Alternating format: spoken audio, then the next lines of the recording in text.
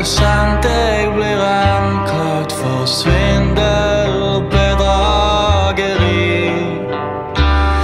Jeg har brukt min revolver i din fars katedral, men jeg har aldri vært illojal. Sjåfør, sjåfør,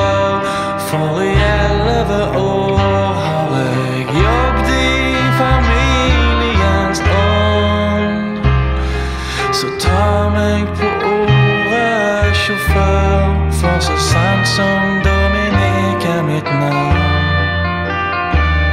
Alt jeg gjorde, gjorde jeg for han.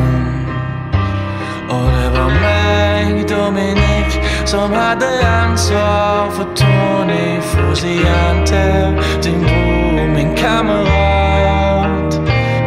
Magasinene spant, og pistolen sa klikk. de die roulette, model blieft hap. Chauffeur, chauffeur, onbenodning is verschen. De agent met een vastreglement. Attentie, gorimot, familiens, wel wel.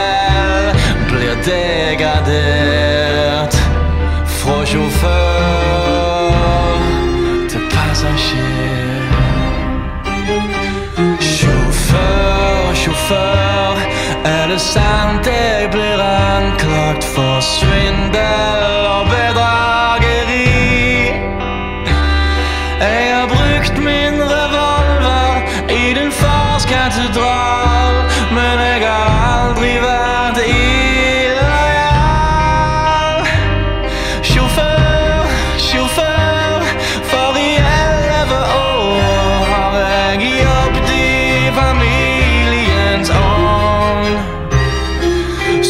På For så sandt som Dominik er mit navn. Er I will dig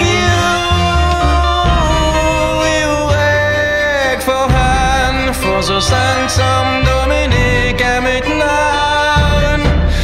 Alting er i uræk for han. For så sandt som Dominik